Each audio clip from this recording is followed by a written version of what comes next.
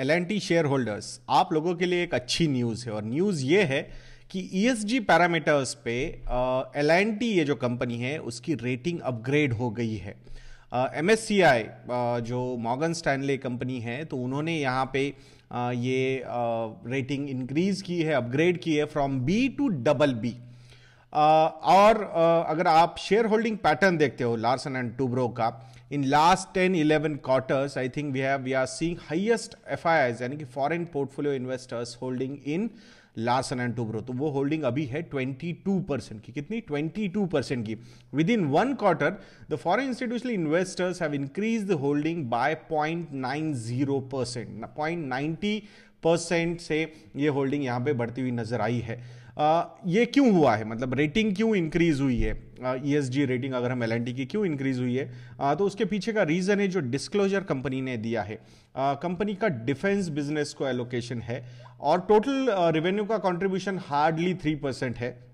But जब भी कभी डिफेंस पोर्टफोलियो होता है किसी भी कंपनी का तो ईएसजी e पैरामीटर्स पे उसको निगेटिव माना जाता है। सो so, वहाँ पे एक डिस्क्लोजर आया है कंपनी की तरफ़ से और वो डिस्क्लोजर ये है कि एल एन टी इस कंपनी का explosives and ammunition of any kind कोई एक्सपोजर नहीं है। So that is a positive sign because normally जो भी कंपनीज़ डिफेंस सेक्टर को एलोकेशन होता है और वहाँ पे अगर एम्यूनिशन एक्सप्लोजिव्स वो बनाती है या फिर किसी तरीके से उसमें इन्वॉल्व होती है so that is harmful for environment so everybody knows that even social structure also will get impacted अगर कोई वॉर वगैरह होता है। So that is not a positive sign on the ESG parameters और ये जो ईएसजी e पैरामीटर है, इसको बहुत ज़्यादा फॉरेन इंस्टीट्यूशनल इन्वेस्टर्स फॉलो कर रहे हैं। Why foreign institutional investors even domestic institutional investors like mutual funds and insurance companies also are looking at these ESG parameters ESG ratings तो उस हिसाब से इट्स अ पॉजिटिव साइन तो ये double B से बी होना इज़ अ गुड थिंग